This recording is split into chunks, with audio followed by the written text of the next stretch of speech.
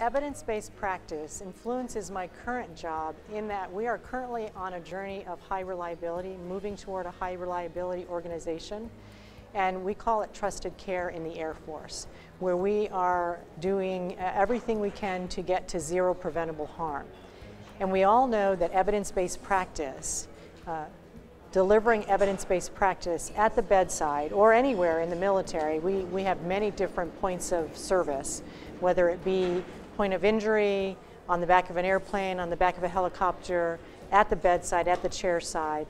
Anytime you can uh, deliver evidence-based practice, we know that that increases the quality of care and the safety of care and will get us to our zero preventable harm goal.